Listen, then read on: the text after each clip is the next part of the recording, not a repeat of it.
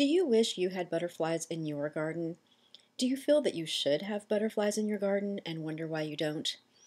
Well, if you've answered yes to either of these questions, keep watching because I'm going to show you how to get butterflies to come to your garden easily and quickly. Plants from the Asclepias family are a crown jewel among butterfly attracting plants for a few reasons. Many butterfly attracting plants grow to be very, very large, while Asclepias plants are very thin and smaller, making them easy to slip in just about anywhere.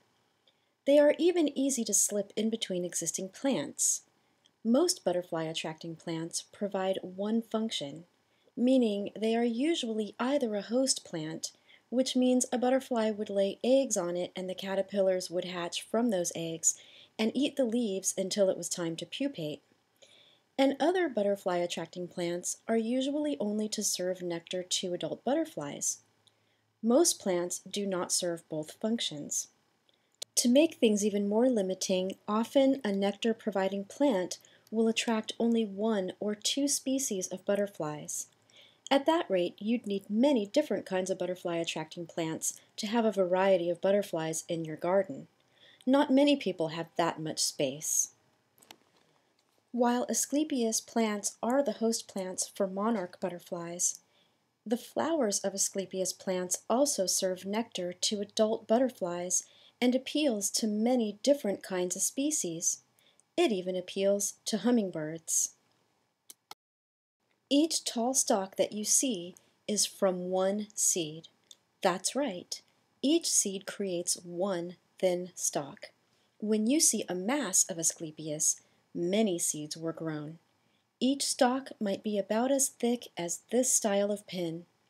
They grow to be about three feet or about a meter tall and leaves grow out from the stalk. I'm sure you're beginning to get the picture as to how they easily can fit in just about anywhere, especially when you can slip a seed easily into a small little piece of dirt. You can even grow Asclepias in a pot and set it on a terrace.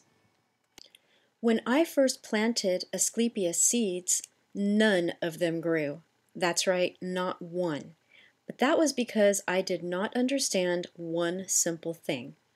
But I eventually figured out the right technique and have had splendid success ever since. Not only did my plants flourish, but the butterflies really did come. I've had a blast watching them up close and personal. I've been able to witness their life cycle, from the laying of eggs, to the eggs hatching, to seeing how tiny the caterpillars first are, watching them grow day by day, to the pupation stage, and then to the rewarding moment of a butterfly emerging. I've captured all of these stages on video multiple times and have had fun sharing this with my friends and family. Now I'm here to tell you that you can do it too. My next video will show you how to plant the seeds in a proper way so that you will have absolute success in growing Asclepias plants in your pots on your terrace or your garden or wherever you want to put them. Grow them and just watch the butterflies come.